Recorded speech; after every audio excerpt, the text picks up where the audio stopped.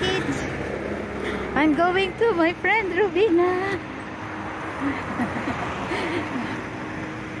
I will buy uh, onion, garlic, fruits, and eggs, and vegetable. and I will introduce to you my friend Rubina. She's the only friends I have here. And Ate Malu and Raquel. I only have three friends.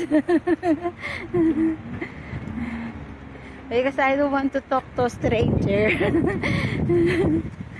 so I introduce you, my friends, when we are there. Hello, Sebastian! I'm good. Here's Sebastian. Sí, mira, My salió. husband, Enrique friend. Enrique, ¿dónde está? Ah, kung asa? ¿Sí? Yeah. Ahora ve. Y mucho frío. Ala! Ruben is Rubina. Rubén es tú. Rubina at home? Yes. Okay, you give this chocolate. I give chocolate Okay, thank you. and thank- this. Thank you. Okay. I can I ask the wine for cooking? And mm, onion, garlic. Here's my friend Raul.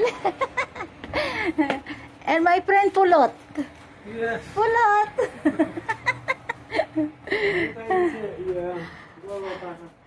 Yeah. yeah. Balsimo. Yeah. Yes, yes, yes. Blanco, rojo. Both. Blanco, rojo. And here, I give you also this. For here, for your store. Thank you. I know, I don't have time.